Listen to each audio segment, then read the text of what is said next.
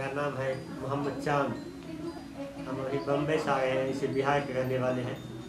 बिहार. में बम्बई में काम करते हैं वहाँ से यहाँ आए हैं। कान में साउंड का आवाज़ आता है टेनिटस हो गया है हम्म। आवाज़ आता है कंटिन्यू।